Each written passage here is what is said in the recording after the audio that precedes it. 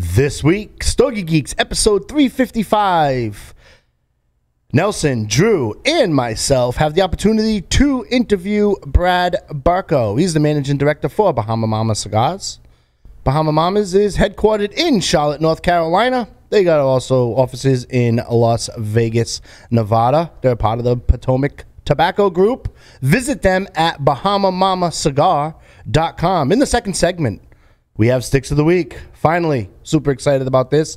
Nelson, Drew, and myself are going to let you know what we've been smoking. It's going to have some commentary, and I am sure that Nelson, the internet sensation, soon to be, will have news. Stogie Geeks, episode 355, starts right now.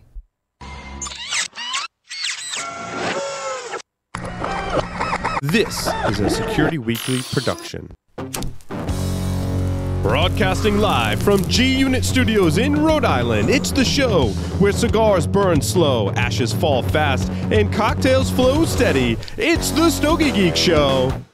Welcome everyone to the Stogie Geek Show. Joe and I are already silly. Oh, yeah. Joe Hozempa, aka Joe Hollywood, is here with me in studio. I'm fired up. So we also have remote Drew, who is remote over in Texas. Look at you. You got some Stogie Geek swag going on in the background. Got my banner. Where are you? Yeah. oh yeah. I'm all set up for the uh, Stogie Geek uh, mobile lounge.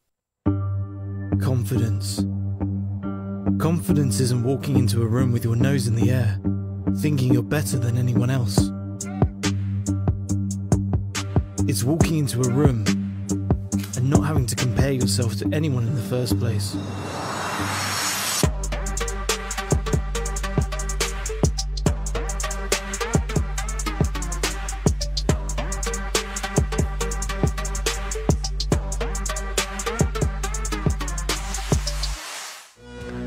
Havana Cigar Club, located in Warwick, Rhode Island, is a great place to enjoy a drink and a cigar. Stogie Geeks listeners can find a $5 off coupon on our website by clicking the HCC logo. Ladies and gentlemen, welcome to the big show. I am your host, Joe Hozempa. This is Stogie Geeks, episode 355. Super excited about this interview. Super excited about Sticks of the Week. Good to be back. Quick programming note next week, back to back interviews awesome topics coming up, and then a week after that, got another interview and stick, sticks of the week. So uh, we got a pretty busy schedule over the next few weeks here at Stogie Geeks. Remember, we keep the conversation going all week long. All you have to do is go to stogiegeeks.com. You can click on those social media links in there. Um, if you want more interaction, you can follow the gentleman to my right, maybe the left on screen. I don't know how that works. Uh, soon to be internet sensation star, Oh my god. Mr. Nelson DeMello. Hey, how's everybody doing? Happy Friday. Smoke what you like, like what you smoke.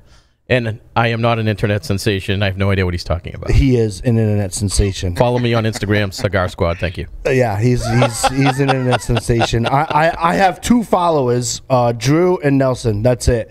Uh, everyone else follows Nelson, which I think is cool, or Drew, which is good. Email all of your complaints for the show to Drew at StogieGeeks.com. And speaking of the little dock-haired kid from Texas, look at you. you you're in the cigar. What's up?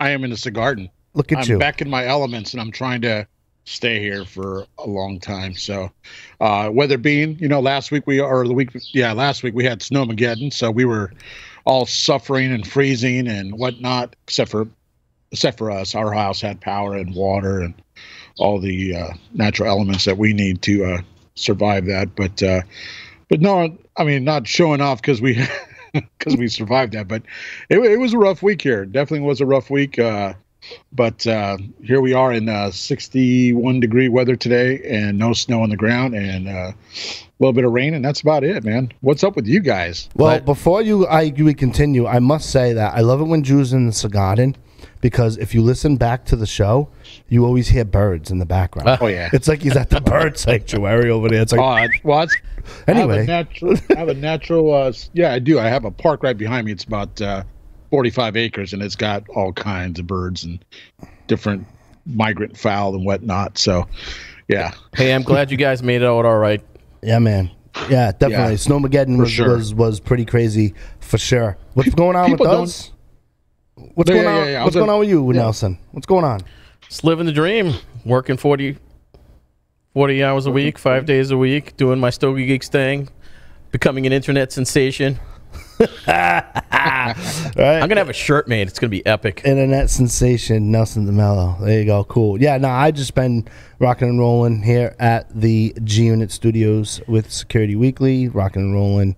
Picked up some new accounts for that, doing some Stogie Geek stuff. So it's it's going well. Everything's everything's kind of cool. The weather's starting to break here too, but we always get duped in April. Everyone gets excited here in New England with March. Oh, we're gonna spring's coming early. I'm like, yeah, right. April is just terrible. But anyway, uh, gentlemen, I want to introduce our interview. Oh, yeah. It is Brad Berko. He's a managing partner for the Bahama Mamas Cigar Company. Uh, Brad, welcome to Stogie Welcome Geeks. to the show, man. Well, it, it's my pleasure. And uh, like we were saying before we went on the air, I really appreciate the opportunity of coming on your podcast, Stogie Geeks. I've been watching you guys for quite a while. And uh, anytime a, a small boutique brand like ours, Bahama Mamas Company with two cigars, gets an opportunity to come on a, a national show, international show like yours, uh, we're thrilled. So thank you, gentlemen. Oh no, no, the pleasure's all ours, and, and and thank you for your kind words for sure. Um, let's let's start there. Let's start there. Uh, tell us a little bit about. Um, but before we get into how you got into the business and going through your repertoire of tasks that you have accomplished in this fascinating industry, um, let, let's spend some time talking about uh, where you currently are as the managing director, uh, what what some of the responsibilities are, and take us through your blends. Well, uh, uh, yeah, you incorrectly said managing partner. I wish Did I I? was. Managing I'm director. Managing di- right. I'm Okay. managing director, Gotcha. uh, which which means I'm running U.S. operations. Okay. And uh, I, I came on board back on October 1st of last year. And uh, a very, very good friend of mine in the cigar industry, who is a consultant to this company, uh, he asked me if I'd like to become the managing director of Bahama Mamas Company. And I've heard of it, but I didn't know very much about the cigars. So I told him, I said, listen, I can't take the, uh, the managing director's job without smoking your cigars because I want to smoke something that I enjoy and that I believe in. And uh, so he sent me a couple of packages, and I went through all the different infused cigars in the Bahama Mamas line. There's four different infusions. And then I went through the uh, uh, La Mirada cigars, which is a non infused Connecticut shade, true Connecticut shade wrapper, which is a fantastic c- cigar. Great morning smoke, great mid afternoon smoke. And uh, that's when I came on board and uh, took on our uh, national sales director who's in Las Vegas. Uh, we have a uh, state of Florida account manager in uh, Florida. And we also have a large accounts manager who's based out of California, going to all the big chains and online distributors and distributors. And uh, we're looking to grow the business uh, by doing that, by hiring folks that can go around the country. And, uh, you know, with COVID, I don't have to tell you guys, uh, it's cut back on the amount of trips that cigar industry manufacturers, reps, what have you, uh, make out in the field. Mm. Uh, you know, I'm here in Phoenix, Scottsdale, Arizona, and I was seeing three, four stores a day, but I, I've sort of cut that back to like two stores a week Mm-hmm. because it's just uh, it's still a dangerous uh, phenomenon. I've had uh, my first COVID vaccination, which is great. As soon as I get my second one, I'll be much more happier to to go out to the stores. But you know, selling cigars is really about pounding the flesh and meeting the uh, the B and M uh, uh, retailers and uh, enjoying a smoke, one of our smokes with them, and getting their feedback. So basically, we started this company once again in October, and it's uh, five months into it, and we've picked up uh, some nice online accounts, some nice distributors, a bunch of uh, retailers across the country, and uh, looking to, to spread the word uh, through these podcasts, other social media, and just people smoking our cigars and talking about it. Mm. What are some of the you, you got you got two different blends here. You have you have an infused cigar, um, which is under it has four uh, four different blends under the Bahama Mamas label, and then you have the La Mirada Connecticut Shade. I believe it's aged 13 years or so, right off the top of my head. Um, there, um, y- you all of the staff who's out on the street pushing the uh, product must realize that you probably have two different audiences for sure, right? Uh, Correct. Certainly, the infused uh, revolution um, is is is keystoned by um, uh, is keystoned by Drew state for sure. Uh, there, but there is a target audience for that um, as either introductory to cigars or want something completely different on their palate and whatnot. Uh, and then you have this conventional smoke. When I mean conventional, it's, it's not infused. The the La, the La Mirada, and um, you know, so so you're when you're reaching out to the brick and mortars. Okay, Joe, land the plane. When you're reaching out to the brick and mortars, you have two different audiences there. What are some of the um, feedback that you get on the street uh, from from the taste profile, and what could the Stogie Geeks listener expect if they were to seek out these cigars? Sure. Well, I'm smoking right now uh, the La Mirada. Yep, so am I. La Mirada is made at Tabacalera Palma, which I know you guys have heard of, and mo- most of the cigar smoking world has heard of Tabacalera Palma. And they they blended and uh, make this cigar for us. Uh, it's not an infused cigar whatsoever. It's a premium long leaf cigar made in the Dominican Republic. Uh, it features a true aged Connecticut shade wrapper. And even though I've been in the business like 27 years or so, uh, I never heard of the word true Sure. Connecticut shade wrapper. And I asked my friend uh, John, who hired me, and uh, he said a, a true uh, Connecticut is actually a Connecticut shade wrapper grown in the state of Connecticut. Correct. Yep. As, as you guys know, and the, your audience knows, there's Ecuadorian Connecticut, there's Nicaraguan Connecticut, there's there's all sorts of Connecticut. They plant Connecticut seeds in the fields in Ecuador, Nicaragua, Honduras, what have you, even the Dominican.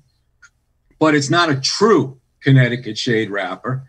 And age means it's aged at least three years. Mhm. And uh, uh, it's just a, a delicious cigar. And it's got Dominican filler and binder. And as you can see from the cigar I'm smoking, this is a Gordo. And uh, that has got a beautiful, even ash to it, a nice white or uh, even a light gray ash. And, you know, some of the qualities I look for in my cigars is number one, it has to have a great draw. Because if it doesn't have a draw and you're sucking on that cigar like a Hoover vacuum, you know, I'm going to put it down. I mean, I'm going to cut it again. But if I can't get a draw, I can't get taste and I can't enjoy the cigar. Uh, the second thing is a uh, consistent, even burn, which all these cigars, including the Bahama Mamas, has. Uh, and lastly, is that uh, uh, it stays lit and it's a beautiful white or light gray ash that's strong. This thing can stay on this cigar for like two inches without any problem whatsoever. Mm. And uh, so that's the uh, La Mirada. It comes in. It comes in uh, four different sizes. Uh, it comes in a uh, Corona Gorda, five and five eighths by forty six. It comes in a Robusto de Deseo, which is your traditional five by fifty Robusto. It comes in a Toro Reserva, uh, a six by fifty two ring gauge, and a Gordo Magnifico, which is what I'm smoking, a six by sixty and all in boxes of 20. Mhm. So uh, they're beautiful cigars. Uh, early last year, we got a 90 rating in Cigar and Spirits magazine, and that is fantastic. Now, I know it's not Cigar Aficionado, uh, the Bible of the cigar industry, so to speak, But uh, Cigar and Spirits is a hell of a magazine, and to get a 90 rating by them is quite an accomplishment, especially for such a young cigar. Mm. And uh, the other cigars brand that we make is the Bahama Mamas. Hopefully, you can see that. Yep. And uh, the Bahama Mamas comes in uh, four different infusions. It comes in a Bardstown blend, which is Bardstown, Kentucky, Kentucky bourbon.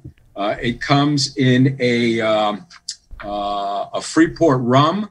It comes in a Madagascar, which is like a vanilla, and it comes in a Braziliana, which is a coffee. And uh, also, uh, these four different infusions come in a, uh, a petite Corona, four and a quarter by 42, uh, a Robusto, a five by 48, a uh, Bahama Mama Gordito, four and a half by 54, and the Toro, which is probably the most popular, uh, a six by 54. And we also have four packs of the petite Coronas, which sell really well. You know, a lot of people refer to that cigar as like a dog walker. Sure. You know, especially you in Rhode Island, um, uh, it's it's difficult in the winter to smoke a you know an hour long cigar because you could die of hypothermia. That's true. Uh, you know, you, you smoke that uh, petite Corona. It's like a eight to 10, 12 minute cigar, and uh, it gives you all the flavors uh, of the bigger cigars. And the uh, uh, the Bahama Mamas is made for us at the La Aurora factory in the Dominican Republic. Also, a quality, quality factory. hmm And uh, we're very happy to have them make our cigars. And, uh, you know, and unlike a lot of flavored cigars, especially the smaller ones, it's all premium long leaf tobacco, filler, binder, obviously wrapper. So uh, it- it's a quality cigar, and both the cigars, La Mirada and Bahama Mamas, are extremely high quality cigars, but at affordable price points. The uh, the Bahama Mamas are like from four to six and a half dollars retail, which is quite a lot less than uh, that other brand that uh, you talked about uh, with with infused or flavored cigars. And uh, the La Mirada uh, is like seven and a half to eight and a half dollars. And the La Mirada is like a mild to medium bodied cigar. It uh, uh, if somebody likes a stronger cigar, it's not for them. But uh, this cigar can be smoked all day long. I know, you know, I think I'm your typical cigar smoker. At least that's how I describe myself. And I describe cigars one of two ways: either I like it or I don't like it. Mm. Sounds I- like me. I, I'm not like a cigar sommelier where I could taste leather and cocoa and No. wood and hay and uh, all that sort of stuff. I could tell cigars I like and cigars I don't like. And this La Mirada I like a lot. And uh, the Bahama Mama cigar brand, just like the La Mirada, also received a 90 rating by Cigar and Spirits last year. So we're very, very happy about both of our cigars. That's awesome. Yeah. Um, before I dig a little bit and get a little geeky on the wrapper binder filler and all that stuff, uh, Drew, you have a question out there in the garden? Yeah, no, just I'm smoking the actual. I'm actually smoking the La Mirada Corona uh, Gorda, and I'm surprised with the Visa Palato that uh, Palato that's coming through. Um, you know, in this in in, in the cigar, and it's it, you really can transition through the uh, through the uh, long fillers for sure.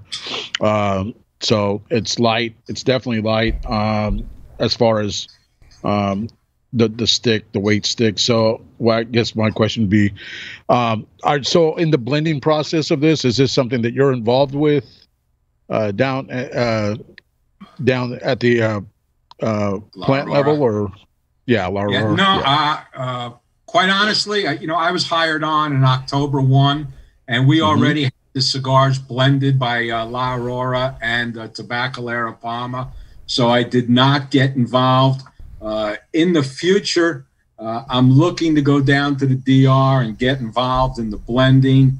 Uh, we want to come up with a, uh, a Corojo or Sumatra uh, Wow. leaf uh, for the La Mirada line. So to give people the option of a lighter cigar or a fuller cigar or medium to full cigar.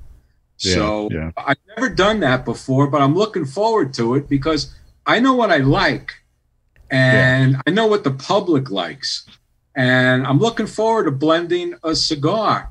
Now, I, I tell you, with this La Mirada, i- i- even though it's a mild to medium, like I said, you could smoke it any time of the day. And uh, you were talking earlier, or one of you guys were talking earlier, about with newbie cigar smokers, they were almost always turned on to a flavored cigar. hmm That's changed a lot. Yet, do they still love the infused and the flavored cigars? Absolutely. But they also enjoy a milder cigar for their first cigar. All right. Yeah. And uh, uh, and ladies and newbies are not only going to a smaller ring gauge cigar. You see ladies at cigar stores smoking uh, the size cigars that most guys smoke. Yeah. So Yeah. you know the uh, the cigar world is very educated, and the state of the cigar industry is such that there's never been a better choice of quality cigars in the industry, and uh, everyone is saying that. Yeah, definitely. Um, I am pairing this La Mirada with a uh, 2018 Cabernet Sauvignon, and uh, I'm getting butter. You getting butter? I well, w- I was gonna say I'm, I'm definitely getting a little creamy. I don't know if that's what yeah, you're getting. cream. No. Yeah, that's what I'm getting creamy over here. Yeah, I'm getting a little creamy. I, I mean, Yeah. I'm not going to say butter because I'll, I'll be lying. I'm not getting butter, but I'm definitely getting a little creamy. Uh, not sweet, Yeah. but creamy. Yeah. Yeah. Um, it's got a lot of natural. It's got a lot of a natural uh, uh, earth, you know, tone to it as well. Um, when I when you retro retrohale it, it gives you a little kick in the uh, in the retro. That's where I was going as well, Drew. Uh, Yeah. Where it's at, right? When you Uh-huh. retrohale it, you can really like that Criollo 98 kicks in, and you're like, huh, Yeah. it's it's got it's got it's got legs, right? As they say in the wine industry, when you swerve your little glass like this and it trickles down, it's got legs. I refer to the cigars when they got legs, like wow, the, this cigar has something to it. It was blended very nicely. It's very enjoyable. Yeah, Right. and Drew and I are actually smoking the same The same one. size, Yeah. so it's not Yeah. surprising you're getting slightly different, and and yet he and I are getting the same. So Yeah. Yeah. I can see where you can go with, with, with cream and whatnot, but yeah, it's it's uh it's definitely a good choice. So Brad, uh well actually Nelson, you have a question? I have a lot, but Okay, uh, go for it. Before we go, no, let, uh, we'll keep it in the let me- context of the company right now. So, Brad, what I was Well, let me- wondering is, you Oh, know, you, you have the two, right? You have um, the Bahama Mama and the La Mirada. Um, are there any new facings planned uh, for the near future? Well, yes, like I like I said a few minutes ago, uh, uh, I'm hoping to get down to the DR and do some blending of uh, a more medium to fuller bodied cigar for the La Mirada line, and and also possibly for the Bahama Mamas line. And uh, Yeah. because what we want to do is we want to give everyone uh, a choice. Do they like mild? Do they like medium? Do they like full bodied? Uh, Mhm. It's and come up also with some uh, unique uh, sizes. You know, it's uh, it's like a kid in a candy store. You can you can make anything, you know, these days, and uh, it's a matter of blending and uh, creating popular sizes, not just sizes that I like, but sizes that are popular amongst the the public.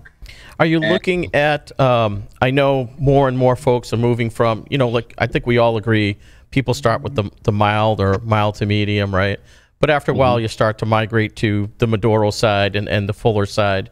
Um, are you guys considering going that route Yeah, to uh, stronger? Well, we're looking at going at a fuller bodied cigar. I'm not sure if it's necessarily Maduro because more than half the cigar population likes a milder to medium bodied cigar. Uh, Yeah. I mean, uh, the heavy duty cigar enthusiasts, they're smoking fuller bodied cigars. yeah. So when you get a little older and you smoke a lot of cigars, you don't really uh, care for the strength of a Maduro, even though you know it's sweet. uh, you might not care for it. But it's a way to blend it with the filler, the binder, and the wrapper. Uh, you know, our La Mirada, even though it's mild, it's mild with taste. So uh, I remember when I first got started smoking cigars, my dad took me down to the original Nat Sherman store in uh, in Manhattan. Mm. Uh, Yeah. this guy 40 Very years cool. ago, and he bought me Macanudos, a Macanudo Portofino, because Mm. it was a mild cigar. But when I smoke that Macanudo Portofino now, it's like smoking paper. Now, Mm. obviously, Macanudo is probably one of the top brands in the world. But, you know, uh, it's a great cigar to start on, but then to graduate from that. And a Yep. graduation from that, or even for a nouveau smoker, this La Mirada is an excellent choice. Absolutely. Drew, question before we pivot potentially on subject? Yeah, no, I was gonna say, you know, with with as as in regards to the flavor cigars, I I actually got into the uh, the uh, Bahama Mama uh, Bardstown uh, blend, and uh, you know, I, I I'm a long way from smoking a flavored cigar, but that that cigar there, just uh, my experience with that was more uh, very light, very uh, uh, flavored tip or flavored uh, I'm I'm assuming the tip is flavored, something's flavored, but the uh, the smoke content that was big, but not overwhelming. So, kudos to you on that. Um, a little oily for me, but at at the same point, uh, I think it's something that you know people that do smoke flavored cigars can definitely. Uh, hop into, especially with your four pack. Uh, I think you have a sampler four pack. Is that right, Brad? Right, right. Is that right. that's And, what you, know, sent to it? Yeah. Right. And the way that I describe the uh, our infused cigars is they have a very sweet tip, much like uh, the Baccarat cigars, which all of us have smoked. And, and the infusion, the flavor on the infusions are very subtle, very subtle. Now, more some people can really taste the bourbon or the rum or the Madagascar or the coffee, but it's Uh-huh. very subtle. And also, when you're smoking that any one of those infused cigars in a cigar lounge with 5, 10, 20 people, you do not get the overpowering flavor aroma like Yeah. you do with uh, quite a lot of the flavored cigars on the market today. So, therefore, you know, it's not going to have that overpowering flavor where true cigar smokers don't appreciate that uh, aroma and uh, might true. walk away. I did. or you know, to get out. I Go did. I, I did notice that, Brad. Um, now that you bring that up, when when Joe handed me um, some of the Bahama Mamas, I didn't get, you know, I, it wouldn't be overwhelming because it's not lit yet, but I didn't really get that even when I lit it right away. I didn't get this overwhelming smell, like you're saying. The aromatic infusion didn't really come out like some other uh, brands. So that that's a great point. I, I I noticed it, but I didn't really make note of it until you just brought it up. So that's that's a great point. Right. A, a lot of the compliments, quite frankly, that we've been getting on the Bahama Mamas infused cigars is that it's not overpowering. Yeah. Yeah. They appreciate the flavor or the aroma being very subtle. You can still taste it, but it's subtle. And most people, hell, everybody that I've talked to appreciates it. Cool. Super cool. Take us through your resume and uh, how you've um, you've gotten into the business. You've done. Uh, I can't wait till the, we talk about your AM uh, cigar radio show you had. but Oh, anyway, yeah. but take us through. But take us through your resume and and and we'll Well, we'll, we'll my, go from my resume is ever since uh, graduating uh, school, I've been in my own businesses with uh, uh, sports uh, sports marketing company, television production company, uh, and then my youngest brother in Miami Beach back in the mid '90s created a cigar event to uh, I don't want to say compete against the Big Smoke, but he and his uh, lawyer friend went to a Big Smoke in Miami Beach. And this is back in the day when the Big Smoke held their events in a dozen cities across the country when you could smoke indoors. And uh, that event in Miami Beach was at the old Playboy Hotel. Mm. You, you guys are too young to remember that. Heard of it. Heard Uh, stories. Yeah, they they went to that event and they didn't think it was social enough. Both my brother and his lawyer friend were single at the time, and they couldn't get uh, any dates from that event. So uh, they created their own event in the mid uh, '90s called the Cigar Schmooze, and they had anywheres from 1,500 people to 3,000 people. Wow. They had it from South uh, South Beach up to Atlanta, and in different cities across uh, uh, across Florida, Orlando, Tampa, etc. And uh, I wasn't doing anything for a couple of years in the mid '90s. I sold my my sports marketing and TV production business, and uh, I was living out here in uh, Scottsdale. And my brother said, "Why don't you do one of these events in Phoenix?" and uh, you're a marketing uh, pro and you, you're an event pro and check it out so i did it and we held it and once again back in the day when you could smoke indoors before all these anti-smoking laws Oh, I miss those days. Yeah, I always I- talk about them on the show. oh, I, I miss I- those days. do you guys remember going to like a morton steakhouse Yep. and having dinner We at table in the restaurant with Yep. your Yep. We uh I used to own a cigar shop in Providence, Rhode Island, and um uh Hemingway's was one of our clients that we you know we filled their their humidor and all that stuff. And I remember closing the shop probably early on some nights. Ah, it's dead tonight. We're out of here. It's a rainy Friday. We're we're, we're, we're bouncing, and we would go to Hemingway's and have seafood and chill and just sit there for hours smoking cigars. And you know, we start with some oysters, and then see me. It's weird, right? Because when you go with me, I'm not uh like I don't like cigar dinners. I go to them, but my characteristics are I don't like to smoke and eat. Never did. Been smoking cigars for 26 years or so, right?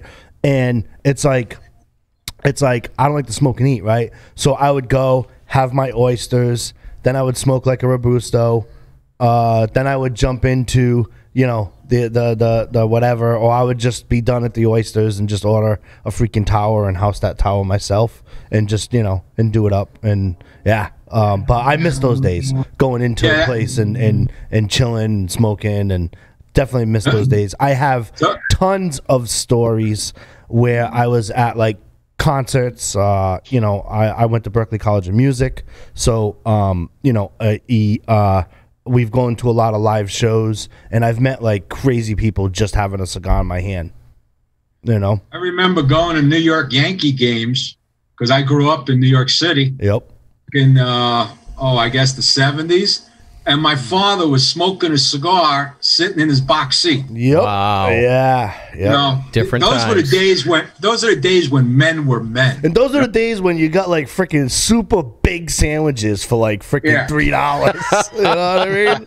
Yeah, those were the good old days. But uh, so my brother encouraged me to bring his cigar schmooze to Phoenix, and I held it in May of 1997 at the Ritz Carlton Hotel. Nice. their uh, grand ballroom, which was 7,500 square feet. Classy. At the time, they were launching their cigar lounge, which was members and open to the public in their lobby bar. So they thought the, a great way to introduce the Ritz Carlton Cigar Lounge was to host this huge event at the Ritz in their ballroom. So I went out to uh, it was either Young's Market or Southern Wine and Spirits, you know, a liquor distributor, and Yeah. we got all the different bourbons, Scotch, tequila companies to pour uh, drinks, and then we had like twenty or so manufacturers. Uh, we had live music. Uh, we had dancing. We had a men's and ladies fashion show. Uh, it was just fantastic. And that first event, we had 1,300 people Mm. and we turned away over 500 people at the door because we couldn't fit them in. Wow. Yeah. That I, I held like a half a dozen events throughout Arizona and Southern California. And, uh, you know, when they were opening the Ritz Carlton Cigar Lounge, uh, the general manager comes to me and says, Brad, do you know anyone that could supply us with cigars? and I said, let me get back to you. And uh, I told this to a few buddies of mine here, and they said, Brad, are you a moron? Yeah, This- start your own company and supply them. business. Right, good. Because I was, I didn't want to interrupt you, and I'm sorry I did. I would have been like, "Hold on, give me 38 seconds to establish an LLC. I will supply Yeah, well- them for you." I'm not. I, I'm not that smart. Come on, man. Yeah. So so anyway, I finally went back to them and said, look, if you give me a month or so, I'll get my tobacco license and I'll supply you with all the cigars you want. And the Ritz Carlton was my first on premise, as we call it, Yep. count. Yeah. And from there, I started an on premise distribution company that we were licensed in 27 states. Yep. We had over 50, we had 57, I think, casinos across the United States, over 20 in Vegas. Nice. Uh, yeah. I opened the Bellagio Casino Hotel in November of 1998, and we had 26 humidors throughout the property. Mm-hmm. From that, I got the Wynn, I got Paris, Paris, the Mandalay Bay, etc. We were in Biloxi, Mississippi. We were in New Orleans. We we were all over. I had a few hundred golf courses. Uh, my biggest golf course client was Pebble Beach Company. Oh yeah. I had all four of their courses and all three of their resorts as the exclusive cigar provider from 2001 through 2010. Uh, I would uh, go up there every six weeks or so because one business was good, but I enjoyed playing the Pebble Beach golf links. Yes. Yes. And, And that was a lot of fun. And you know, from from that one property in the Monterey Peninsula, I had almost eight, 18 properties, you know, hotels and golf courses. Mm. And uh, it spread to chain accounts and uh, did real, real well. Oh yeah. You got to remember uh, timeline. And then in like 2008, 2009, that business went to hell when the recession hit. yep. And uh, then all of a sudden, instead of dealing with the food and beverage directors at these properties, you had to deal with the uh, uh, the purchasing, the buyers, Yep. and uh, the buyers they only cared about getting the same product for the cheapest price Yeah. possible. Didn't give a hoot about service. Yep. So a lot of these companies, uh, I went way down in my pricing, uh, but then they were asking for the same level of service as I did before. I mean, I would go to Las Vegas two to three times a month just to service all these accounts because there was a lot of accounts and a lot of humidors, and uh, I just couldn't do it anymore. So in like, you know, 2008, 2009, I would call the Bellagio, I call Pebble Beach Company and I tell them, look, guys, I can't do, I can't afford to do business with you. Yep. And they were shocked. They said nobody stops doing business with us. Well, that's the way it goes. You know what I mean? yeah. And the other thing was, is instead of me, billing them at net 30 days, they would want 60, 90, 120 day terms, Well, that's because you're the bank at that point. billion dollar properties. And I'm just, you know, little Joe Schmo. Yeah, and the problem is like uh, pff, you brought up so much in that in that breath, right? The purchase agent, you know, they know the price of everything and the value of nothing, right? That's a Xerox cliche. I can't take credit for that. Uh, anyway, um, and then also like you know they they they want to carry them. They want you to carry the note for ninety days because then they're they're always ninety days in the rear. And I've actually had a couple accounts like that in my advertising agency when I was doing television and radio. And I just send them letters and say I just can't I just can't afford to do business with you. It's that simple. Right. You know. You know, you, you, you have to have uh, uh, big cojones, as they say, Mm-hmm. uh, to tell a Bellagio or a Pebble Beach or a Wynn Las Vegas Mm-hmm. that afford to do business with them. And, you know, they would go out to the uh, local uh, cigar retailer and tell the retailer what they want to pay. And the retailer was more than happy to do business just because they had the bragging rights. Yeah. But I've been in on premise business for like a dozen years. I didn't need bragging rights anymore. I'm trying to make a living Yep. and grow the company. Right on. And so my next foray, because I love the cigar industry. Uh, I mean, the first before it was PCA, it was IPCPR, and before that, it was RTDA.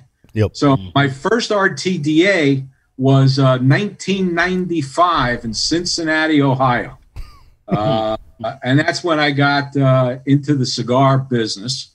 And uh, when I closed my on premise business, I opened up a, a cigar retail lounge here in, uh, in Scottsdale. And that Yeah. lasted for about eight and a half years. The last, uh, oh, excuse me, the first five, six years were excellent. And I, I built the type of cigar store and smoking lounge that I would want to go to Mhm. because again, I consider myself the typical cigar smoker. And it was rectangular in shape. And I had a, 50, a 40 foot wall, excuse me, with seven 52 inch TV monitors. So it's like going to a sports book. Mhm. And then opposite that, I built a glass cabinet humidor that was about 50 feet in length. Then we had about 400 facings of different cigars. And uh, we had seating in there for about 30 people. We did tons of events. Uh, we had all, when it was the NFL time, we had DirecTV. So we had the NFL package. So we had guys coming in there, spending the day. We would barbecue, hot dogs, burgers, whatever Mhm. and it was a real social place met so many friends through that business and uh, through that retail lounge uh, but then the last two three years out here uh, a lot of cigar stores were opening up bars Yep. uh, some just beer and wine but most of them full liquor and as, as, as a cigar consumer i love my single malt scotches and I would rather go to a place where I could smoke and order my cocktail. So I couldn't blame a lot of my members and a lot of my regulars from going there. And I basically funded that business for about the last two years until my wife finally said, uh, enough is enough. Yeah. And I agreed with her. And, uh, you know, got out of that business. I was very sorry to get out of it. I mean, I probably worked 70 to 80 hours a week. Uh, And going to the shop every day was so much fun. And, uh, you know, sitting there smoking cigars, talking with the guys, meeting reps and manufacturers. Every manufacturer came in and out of my cigar shop for those eight and a half years. And that's also when I created, as you were alluding to, uh, my AM radio show. And uh, I created it. It was called the Best Damn Cigar Show. I don't know if you recall the Best Damn uh, Sports Show on Fox TV. Yes, I am. Yep. Yep. Yeah, I took my hint from that. Never got sued, thankfully, from Fox Sports. And uh, we had that show live from my uh, lounge every Sunday from uh, noon to one. And Yeah. uh, it was on the, uh, the Business News radio station, which was the biggest AM station Yep. in the Valley of the Sun. So we had a reach of four or five million people. I, I'm not going to tell you four or five million people listen, but you know we had a good listenership. Yeah. Yeah. Yeah. And, I, uh, I had other retailers on my show and retailers that I knew that were friends of mine. Brad, why do you want us on your show talking about our store? Well, I believe that if we spread the word about cigars, that when you're in a different section of town, you're going to go to that cigar store. And when you're in my Yeah. section of town, you're going to go to my cigar store. So that worked really well. Yeah, it's really a community. I had Glynn Loope from uh, the ex CRA director on Yeah. two, three times. I had all these manufacturers on. And, uh, you know, this is before Zooms, Zoom calls. Mm. Had them on just the audio. And, uh, but it worked really well. And obviously, when I closed down my cigar store, we uh, went off the air. yep. And uh, now I'm doing these podcasts, which are fantastic. I mean, I, I love being on these podcasts talking about our Bahama Mama cigars, but uh, also I'm on a, on a couple of these like uh, virtual herfs, if you will. So, guys, people are afraid sometimes of going to a cigar lounge with 10, 15 other people because of COVID. And, uh, but you go to this Zoom lounge and it's like going to the cigar store. And Yep. it, it's just wonderful. Yeah. Nelson's all into that scene. Yeah, I like the virtual herfs. I'm a big fan of those. You know. I think I met I think I met you gentlemen on the Boutique Cigar Association Social Club on Friday night. Yeah. Yeah. Yeah. Yep. Yeah. And, uh, you know, that's fantastic. And we're members of the Boutique Cigar Association. So I believe in that. Uh, I remember when I was a retailer, I carry a lot of boutiques. Of course, I carried, you know, all the name brands from General and Altadis and Fuente and Padron and, you know, everybody in between. But I always carried boutiques. Mhm. Uh, I remember, uh, you know, the uh, boutique manufacturers would call on me, but more than likely, I would call them. Yep. Say, I, I heard of your cigars. I've smoked your cigars. I want to carry them. Send me the information. Huh. And, Yeah. and, you Yep. know, tried them for like two, three months. And if they didn't move, okay, we went on and created shelf space for somebody else. Yep. But uh, you know, people love choices amongst their cigars. I mean, like everyone else, I have my regulars that I like to go to, but I like to try something new. And uh, you know, people would come into my retail cigar store and say, "Hey, Brad, what do you have that's new?" First question people would ask. Of course. And and to be honest with you, that is uh still probably the most asked question when we interview retailers here for sure. You brought up you brought up so many so so many fascinating points that could extend to a second interview and getting into that. I mean, you know, you you first of all, in regards to the, I'll go backwards and and start with what you last said and move back for those Stogie Geeks listeners who are just listening and not watching. And you know, it, it's like you know, in in Brad's day, and it's funny how we have some similar timelines, right, of owning a shop and whatnot. The boutiques were cheaper than the classic facings, and now the boutiques, eh, a couple dollars more in some cases. I, Yep. I know with yours, Brad, it's not, but you know, it, it's like it's different, and people would buy the regular classic stuff, but they would always experiment more. And you got to remember, and and it's like, well, it's kind of like the same now, and it is, but it isn't because there's a mystique about a boutique then because you didn't have the social media aspect of being in that boutique owner's living room, so to speak. Yeah, eh, Especially now Right. with with COVID. So all the mystery, all the mystery is gone with with the internet, right? I, I think it's that, but I also think it's something that, that Brad actually hit on earlier, which I think, and you know, Brad being 25 years or so in, in the industry, I, I, I'd like to see your thoughts on this, but I think you said it earlier. The cigar smoker today is more educated than they were 15 years ago. Th- it- yeah. Right? Yep. Yeah. So I think they're because of that education, they're more likely to try. Because I think you go back to the early '90s, people smoked what they smoked, and they probably didn't really go too far from that wheelhouse. Whereas today, to Joe's point, you know, pe- because of social media, because they're more educated, they're willing to try other things. Well, it's like that across sectors, right? I don't want to just say, okay, the cigar Cigar- industry, right, right, right. Look at buying a car. You no longer have to go to the dealership. They bring now, it to you. And now even local dealerships here in the Northeast, and I'm sure they're doing it in your neck of the woods, Drew and Brad Mm-hmm. as well. Oh, you want to do a test drive? We'll show up to your place. Like they're gonna show up to your like so basically if if you know you pass the credit and all that stuff, you'll show up to my place of employment and our house. You know, if I was in the market for a car, I'd be like, yeah, can you meet me at the weenie joint? Like, you know, you know what I mean? Like, you know, I'll buy you dinner and freaking or, or lunch and and let's have some hot, hot, hot wieners and really drive this thing. You know what I mean? Remind me not to go to dinner with Joe. You just get wieners. What well, the hell? Not dinner. You know what I mean? Freaking whatever, dude. It's a Scooby Yeah, snack. the, boot the boutique business, like you're saying, crosses many industries. Yes. the beverage industry, excuse me, all the craft beers, all the small batch bourbons and Yep. limited edition whiskeys.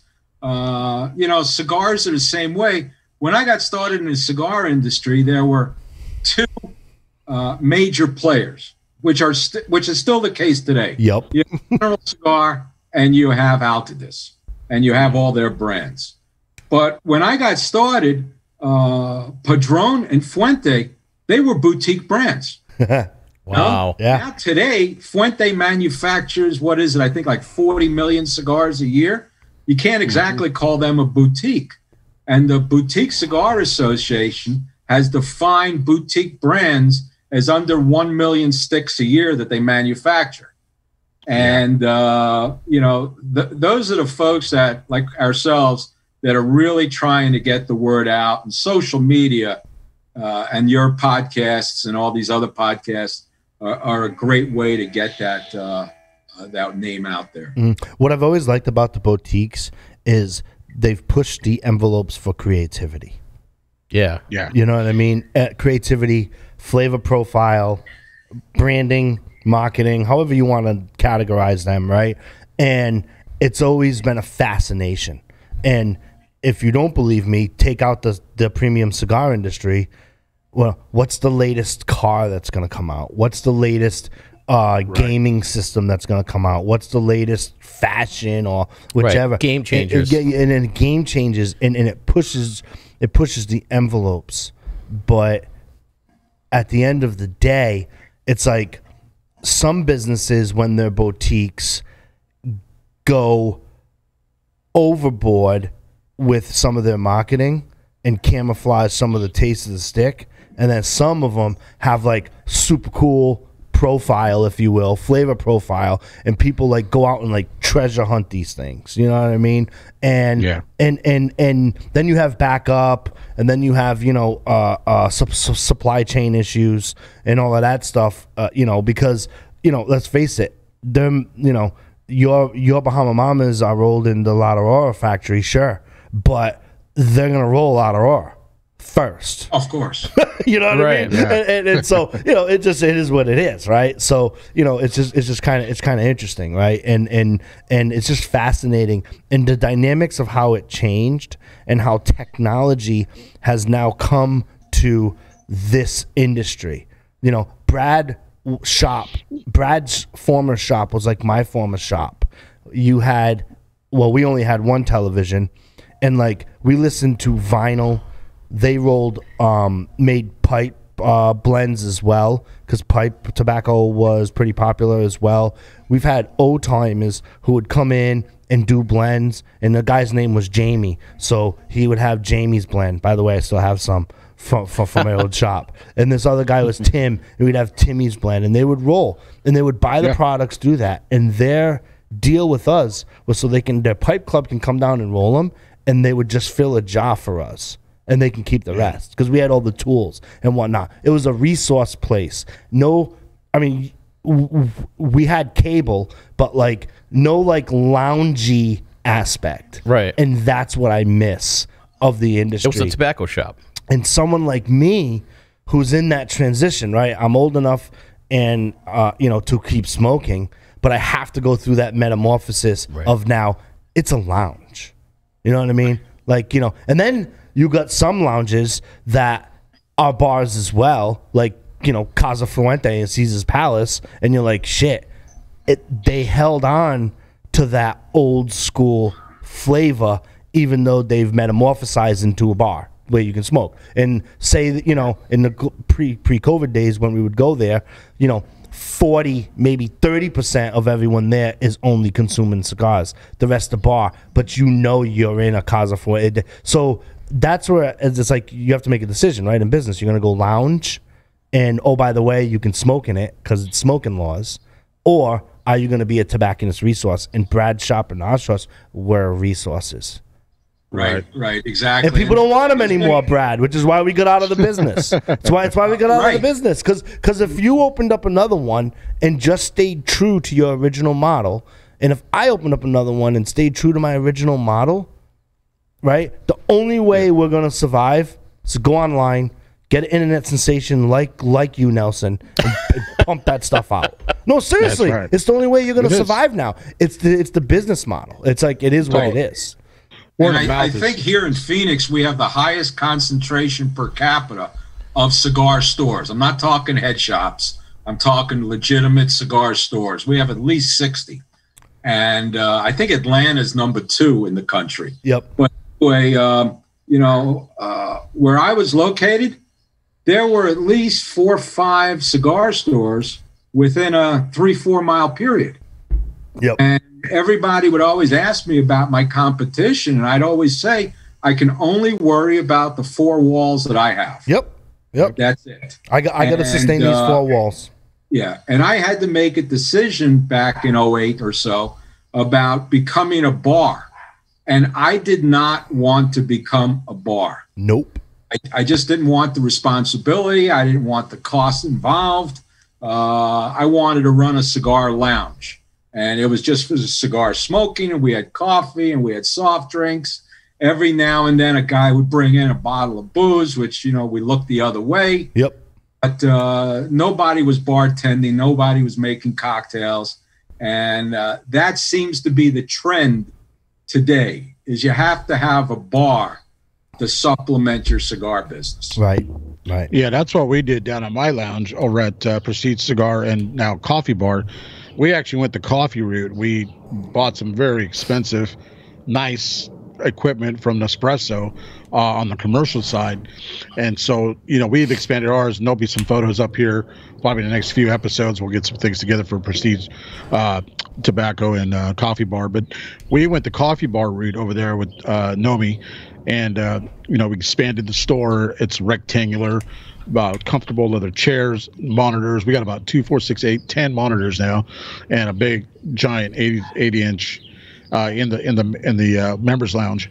But yeah, it's you know he had we had you know he was like, what do I do? Do I go ahead and get the liquor license and pay the ten grand and go through all the headaches of that, or do I just do something else that's you know here in Texas that a lot of people are looking for good coffee uh, bars or lounges or, or whatnot, and so you know we it, it's two separate rooms, but yet it's it it fits the model here correctly and and therefore that's that's what Nomi decided to do is go ahead and go with the coffee bar. Um uh, but yeah i mean that's what you have to do i mean to sustain that. Uh and also you know a lot of the clients you know that's that's what they were you know really um, we asked our clients and they were like yeah coffee bar you know because we can bring a you know you can do a byob here in texas. Um, and of course like you said no one's bartending you know people bring their own special scotches and whatnot. And and you know we charge a you know a, a, kind of like a corkage fee but uh but uh it, it suffices with what the clients need and what they want at this time. Well, I, I'll give you two follow ups with uh, the bar business. First of all, here in Arizona, uh, a full liquor license is over a hundred thousand dollars. Holy Yeah. shit. license. And then to buy booze from the distributors, it's COD. It Yeah. doesn't matter if you're the biggest liquor chain or the biggest uh, grocery chain, it's COD. Yeah. Well, that's probably about a $200,000 cash commitment Yep. right Yeah. off the bat Yep. without even building the bar and building the lounge. The second Right. thing is wives and girlfriends of the primarily, you know, male clientele we had, when they would Yeah. come down to the Scottsdale Cigar Club and we were just smoking cigars and watching sports or the Sopranos or whatever it was. The wives and girlfriends were not worried about where their husbands were because they weren't like at a bar Right. With, you know, beautiful women uh, looking for guys, etc. I mean, did we have women who were members and customers? Yeah, absolutely. But those women came there because they love cigars. Right. Yeah. You It know, was a different era. Different, today is different than you know the uh, the mid uh, mid '90s, let's say, when the cigar boom occurred. Mm-hmm. Everyone was smoking cigars because it was cool, it was hip, you know, it was, it was trendy. Now people are smoking cigars because they enjoy cigars. Yeah. You know that's a wonderful thing i love that I also think to add to that, I think people look at this la mirada that i'm smoking Yeah. I mean, th- this is it's just burning perfectly i haven't relit this cigar once I also think that there- there's a little bit of crossover there because of the sm- anti-smoking laws that we talked about previously in the beginning of the show of going to a steakhouse or going to a restaurant and smoking. They're just bars. Some of them are just bars that you can smoke in. Like it just. Except- it's well just, i think most know. of them are bars that you could smoke in because th- those retailers they are making the majority of their business of their revenue from liquor sales Oh yeah, no question. yeah Yeah. because you're going to drink two to three drinks for every cigar you smoke Right. Yeah, we definitely have that. I mean, right here in Rhode Island, we have that, and I actually I say that to folks all the time. People will. I'm from Massachusetts. People from Massachusetts will say to me, "Hey, what do you recommend for a lounge in Rhode Island?" Because there's there's a good good chunk of them. What is it, forty something and change? One. 41. And I'll say, well, what do you like? Are you looking for a bar that allows you to smoke cigars, or are you looking for a cigar lounge? Because to your point, there are differences, and that exists right right here in our state as well. Mm. Absolutely. So before we wrap up your Yes, interview, the AM radio station is that fun or what? Were, were people allowed to call in and stuff like that? No, you know, I I experimented with the call-ins because we were live. Yep. Had like a 10 second delay because you know you get some of these bananas out there that would, you know try to pick your brain. Thank God for Google. You know about these different cigar blends and what's the wrapper and the filler and uh, what uh, what plot in uh, the Nicaragua that this What cigar valley? what valley? they would just have stupid stuff. So I figured I, I better control it. And being on a uh, uh, an AM radio station that's regulated by the federal government is so different than a podcast. I mean, Yeah. you know, you, you, you couldn't curse, you couldn't do this, you couldn't do that. And and we were regulated. I mean, we had, you know, about every 10, 12 minutes, we had another two minute commercial break Yep. and Yeah. you know timing had to be impeccable on something like that Yeah. and uh, my my background is producing live sports events for ESPN and Fox I produced them and you know you had the the cable and uh, uh, the satellite feeds and you had the time you were on there and then you know I had to communicate or one of my uh, my guys in the trucks had to communicate with Bristol Connecticut at ESPN's headquarters on running the commercials during the segments and uh, these podcasts are fantastic and they're not going away they're just going to get bigger and bigger Yeah. Oh, yeah. Yeah, absolutely. And, and and and it's it's it's a good outlet, you know, uh, for sure.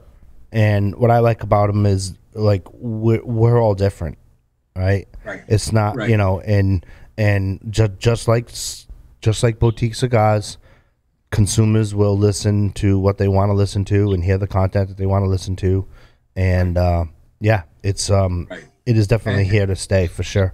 And, and if you allow me to, uh, before closing out, I want to mention if people want to learn more about Bahama Mamas cigars, Yeah, go for it. go to our website, which is Bahama Mamas, you know, with a plural, cigar singular.com. So Bahama Mamas cigar.com. If they want to get in touch with me, I'd be more than happy to talk to them. It's just my first name, Brad, B R A D, at Bahama Mamas cigar.com. There you go. Yeah, absolutely. Uh, Nelson, you have a question? Uh, Brad, I, I, my question is, what haven't you done? So, I, I, in addition to everything you just said, did, did I see in a, in a previous interview you're also an attorney? Uh, I, I was an attorney. I graduated law school in '83, and uh, Jesus. immediately out of law school, uh, a, a friend of mine and I started. You know, 40 years ago and 150 pounds ago, I was a teaching tennis professional. So we started a, a tennis management company that managed uh, tennis courts for resorts, municipalities, and private clubs. And uh, within three years, we had 23 properties across the country. And uh, I remember uh, the summer of uh, 83 and 84, I was director of tennis, even though I was really involved in the management of the company. But the board of directors at Kennebunkport Racket Club in uh, Kennebunkport, Maine, Mm. Mhm. me full time, not full time, during the summer to be their tennis pro. And that's when uh, Vice President George Bush was a member of the club. And uh, I was his doubles partner for the whole summer of 83. And I had so much fun with him Awesome. and this and the Secret Service. I went up to his home Wow. times and have dinner with Barbara and the kids and the the next uh, Bush president, and uh, that was a lot of fun. So you know, Yeah. did quite a few things. So you're not really a retailer or a wholesaler or a tennis guy or attorney. You're a get it get shit done guy, Yeah, I'm. Uh, what do you call it? An entrepreneur. right? There you go. A serial entrepreneur. You know, I'm a guy that does things that I'm passionate about. Yep, I'm the same way. I'm the same way. I've way. been offered other positions, and uh, it doesn't do anything for me. right. You know, I Uh, do something that I enjoy. you can say yes, no, or no comment. Was he good at tennis? George Bush good at, was the vice president good at tennis? Yes, sir. Yeah. He was great. All right, just asking. He, he was great. I mean, we, we we played doubles probably 60 times that summer. Mm. We lost once. nice. Now, I think part of that is because the other members didn't want to beat the vice president. but uh, we, we made it. We made a good team. So that that was a lot of fun. And uh, you know, I post that picture every now and then of me with the vice president playing tennis, and people go, "Who the hell is that? Is that the president of the United States?" I go, "No, no, he was just the vice president." Right. How was the Secret Service? We just need to They see, some fantastic. ID. I, We need to see I some had to have ID. secret. I had to have Secret Service clearance, Sure. obviously. Yeah, yeah, yeah, yeah. And uh, when we played tennis, it was like a, a two court, uh, two courts within a fenced area. Then there was another six or eight courts, and always the uh, the other court was empty when we played. Sure. There's always at least 20, 25 Secret Service agents Yeah. uh, surrounding the court. And keep in mind, this is Kennebunkport, Maine in the summer. So those Right, Secret yeah. Service agents are sweating in their suits. Yeah. Well, I don't know about sweating because I, I think I sweated one time the whole summer. Oh, really? 75. oh, It was beautiful. It was absolutely beautiful. yeah. Kennebunkport, by the way, uh, for you Stogie Geeks listeners, that's a fun town. It's a great steakhouse there. I can't remember Kenny the name of it. Buckport, Maine, in the winter is like you can go and stroll, and you know you gotta wear, you gotta dress up like you're freaking Eskimo. I get it, but like it is such a super cool town. I actually looked for a property out there. Yeah. Actually. When- When I was there in the uh, early to mid 80s, uh, they had one street light Mm-hmm. in the town. In the wintertime, that street light was turned off. People never locked their their front doors, and they the phone numbers were just the last four numbers. Yeah, In the Yeah. days when you had to remember phone numbers. Holy before- shit. yeah, yeah, yeah, yeah. and uh, it, it you know it's like I told my uh, my wife because we were engaged at the time. I told her that I've never worked harder in my life, but had more fun, Mm. and uh, it was a great experience. Yeah, yeah. Um, offline in a couple of weeks, Brad, you and I should uh, connect via a Zoom meeting. Would love to um, put a show together for April May timeframe, just just just to give you a thing, and talk about like the different pivot points in the industry. I think you'd be a good resource for that. I'm I'm actually putting together a, a forum of either future people or um, past guest to have that and talk about like okay like you know i was active in this industry in the 90s and this was a pivot point and this and that and just kind of dissect the industry uh, because it's never been done before uh, you know and i think that it, it'll it'll help the Stogie Geeks listeners when we meet all different guests and we always talk about the glory days, the glory days, the glory days. They can really understand from a global perspective. So, um, Nelson, please keep me to task on that over next course, week. yes. and then um, you know uh, I'm gonna get. I'll, I'll send you a link, Brad. You can connect to me on the calendar via Zoom. I want to put that together on a day. I'd love to get you and one other guest and talk I, about I would that. lo- I would love to do that. Yeah, Uh, yeah, because- lots of lots of memories, Yeah. lots of stories. Yeah. So uh, yeah, I would love to do that. with you. and and this actually comes from a uh, Stogie Geeks listener. This topic comes from a Stogie Geeks listener. I emailed him yesterday. Hold on, his name is Todd, uh, and he was he was talking about like when I always like because I always give a visual before I ask the question and whatnot. And uh, he wa he was saying how we should do something of that, Like a to- forum. to kind of Like a round table. Yeah, Yeah. a round table of like the round chronological discussion. of the chrono. He says because he he says like when you're on the show, like you have so many stories, and I'm like, dude, like I, I've been around it, like you know what I mean, like you know I've been around it, and and there were glory days, and it's crazy, and someone like Brad. You know, I I met him today on the show, as we know how the show format goes, right? I met him today on the show. Nelson and Drew viewed all your previous interviews. I did not. And that you know, and Nelson comes in. He was on this interview, said this. I said, I don't want to know. I don't want to know. I'm going to meet him on the show. That's it. And Yeah. and and and and that, and that that's just the way that I do it, right? Um, because I I think that the conversation comes out more dynamically that way, right? Because you know, you, you, like you would tell us, like the president, like or, the- or the or the vice president, like that, we would never even hear something like that. You know what I mean? So it's it's super cool. But I think having a forum about those pivot points because I think it's going to bring up a lot of super cool elements for the retailers that that might have I don't want to say lost their way, but have changed or the retailers that are in the process of oh my god, I really need to change my business. What the heck do I do next? So, It's like uh, not to be a name drop or anything. oh, go for it.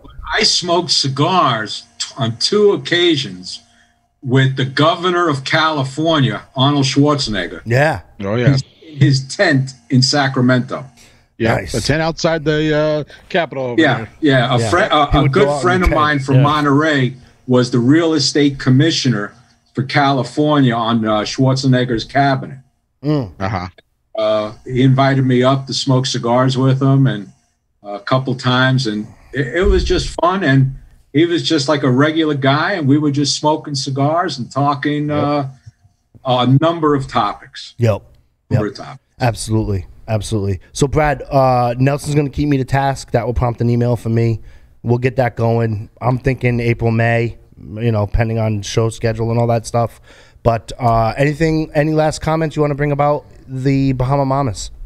no i mean uh, once again i'm just proud to be the managing director of this company and uh, we're looking to get it into uh, retail stores across the country uh, online retailers distributors chain accounts wherever we can Mm. if anyone would like to uh, email me as a as a member of the industry and want our cigars or as a uh, individual consumer and want to talk cigars or learn more about our cigars you know my email is brad at bahamamamascigar.com and our website is bahamamamascigar.com And for you Stogie Geeks listeners who are listening, you can go to stogiegeeks.com forward slash 355, which is the episode number, and the show notes will be in there and link to Brad's website. Brad, I want to thank you for appearing on Stogie Geeks. it's you, been a privilege and an honor to hear your story. Stogie Geeks. thank you so much Stogie Geeks, when we come back, Sticks of the Week. Nelson's got some news. I'm sure Drew's got some commentary. It's going to be awesome. We're going to take a quick break. We'll be right back.